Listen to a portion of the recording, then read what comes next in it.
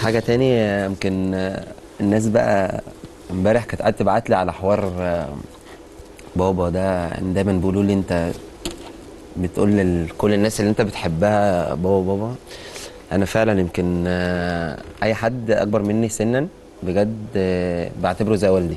يعني أنا من النوع إن أنا يمكن أنا عايش في بيت بابا وماما يعني طفل.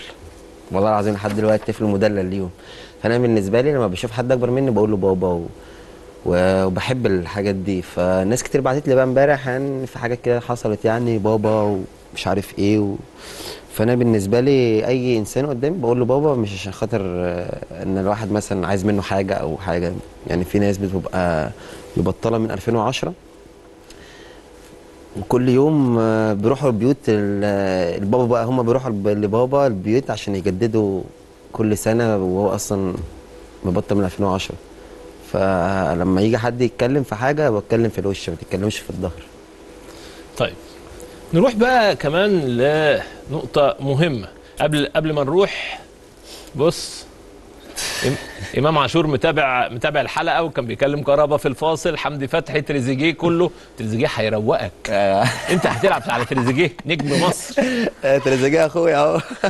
لا لا ده أخويا. تريزيجيه ده من أنظف الحقيقة الشخصيات اللي شفتها. يا يمكن آه آه، إمام إمام طبعا آه متابع الحلقة عمال على كل شيء يقعد يبعت لي ده أخويا وما تقلقش يا ام وإحنا هنفضل أنا وأنت طول العمر إخوات و... وأنا يعني وعد ربنا سبحانه وتعالى وبقول لك دايما إن شاء الله أنا هبقى مدير فني وانت لسه هتكون بتلعب كورة هتبقى أحسن لعيب إن شاء الله بإذن الله في, في أفريقيا. ومصر السنين اللي جاية كلها لأن أنت الكواليتي بتاعك عالي جدا. أفهم من إعلانك ده إن أنت يوم ما هتبطل هتبقى مدرب؟ لا أنا عايز أمثل. تمثل؟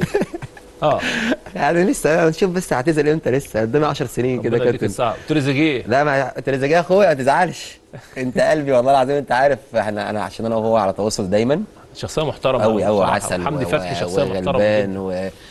وعايز أقول له يمكن تريزيجيه يمكن آه، السنة دي يمكن هو أحسن أحسن محترف آه، مكسر الدنيا في تركيا وعايز أقول له أنت أنت بالنسبة لي حاجة كبيرة جدا وإحنا أنا وهو طالعين وإحنا صغيرين في النادي الأهلي مع بعض وعلى 24 ساعة على تواصل وعلى طول بيبارك لي وأنا على طول ببارك له.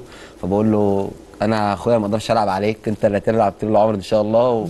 وشيل مرموش خالص على جنب. أنت رقم واحد يا تريزيجيه. وحمدي فتحي طبعا آه، بحب أشكره وبحبه على المستوى الشخصي جدا لأن حمدي بقى وقف معايا وقفة قوية جدا لما رجعت. آه. إن هو كان بيلعب رقم 8 فدايما في كل قبل كل ماتش قال لي مالكش دعوة خليك أنت قدام وأنا هضغط على كله وأنت بس الكوره تجيلك هات جون.